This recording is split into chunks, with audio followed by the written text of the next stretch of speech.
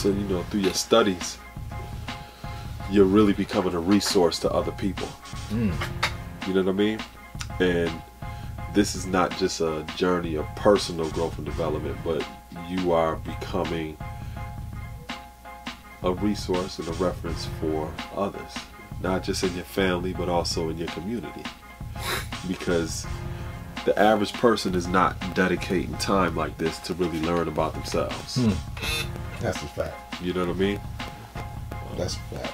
And because of that, you're growing at an exponential rate in comparison to the average person that's your age. You know, the things that you're thinking about right now at your age, some people may never think about that their whole entire life. Hmm. Or they may start thinking about it when they get into their 40s or 50s. When it's too late. Hmm. Yeah. You're actually considering some of these things right now in regards to your personal growth and development. The average person, they may think about these things if they're enrolled in college because I'm in college right you know okay so they may only think about it in that way because they're in college and they want to have a career What do you mean? that is the only Oh, kind of okay. that's the only kind of growth that they're thinking about Mm. going to school getting an education and getting a good job or whatever or they may be working and they're only thinking about growth in terms of getting a raise or whatever at their job they're not thinking about personal growth and development when it comes to knowledge itself. that don't got nothing to do with being in college or nothing to do with being on a job it enhances what you're doing in college and it enhances what you're doing on a job but this is an independent study that most people don't undertake Mm.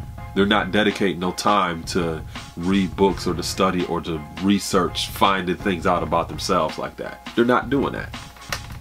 So that automatically makes you grow at a rate that other people are not growing in because you're deliberate about it. They're not even thinking about this. So because of that you expanding and increasing your knowledge you have the potential to become wiser. So you think about it knowledge wisdom and understanding the more you establish this foundation in terms of expanding your awareness and being more conscious and learning more and gaining more knowledge, your foundation expands. So the more knowledge that you have, the more potential you have to be wiser. Because if you don't know shit, you're not going to be making no wise decisions. It's just that simple.